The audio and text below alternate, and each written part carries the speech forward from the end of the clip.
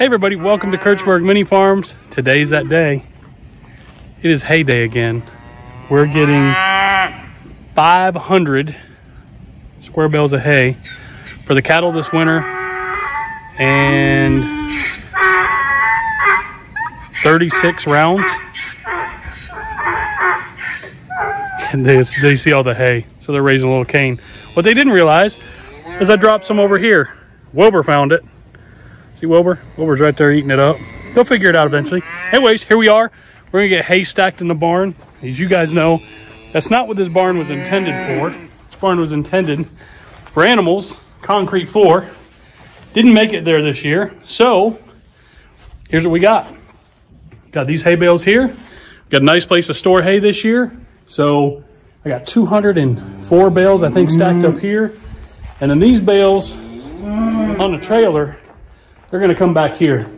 So we're gonna stack them back here, and then our rounds will go on this side. That'll leave the center aisle open for anything we wanna do.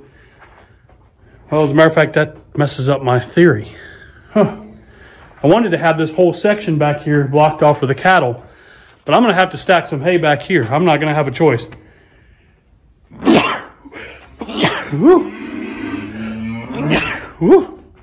Anyways,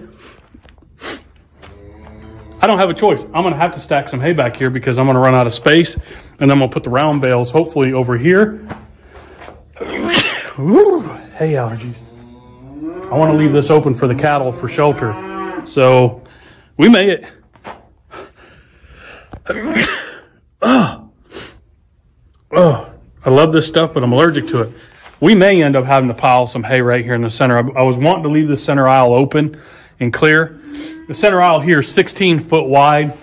Each lean-to is 12 foot. So we have 12 foot worth of hay deep going that way and 20 foot wide. So we got a 12 by 20, 240 square feet. Is my math right? Of hay there.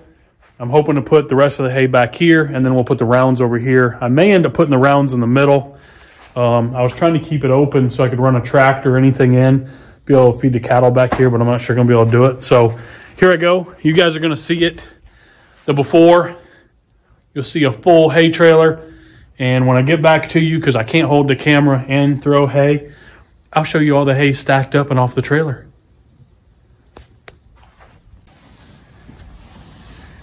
All right, well, see Piper and Jody cleaning off what's left of the trailer. Not hay left. No hay left. What? Would you guys like to come with me to see Christopher eat out of my hand with hay? Let's go. Now show him the barn and all the hard work we did.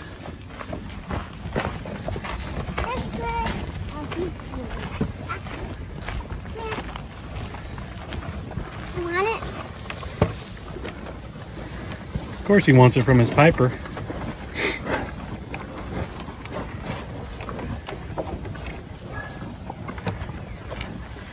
All right, let's go check out the barn.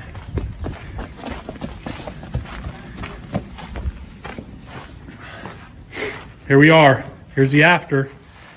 Boom, full from the door up all the way down to here. So we moved everything that was on that trailer right into here. So now we have a little over 300 bales, 200 more to go, and some round bales. As you can see, I'm a little hot, tired. It's scorching like 90 something degrees outside. We're slinging hay in the sun. It's warm. But uh, that's it to, for today's episode of Kirchberg Mini Farms. You got to see us stack some hay and get ready for winter. I'm Kip. I'm Piper. Make sure you like and subscribe. We'll see you next time. Bye. Bye. Whew. Sweating pretty good. Yeah. Hard work and sweat really builds character, don't it?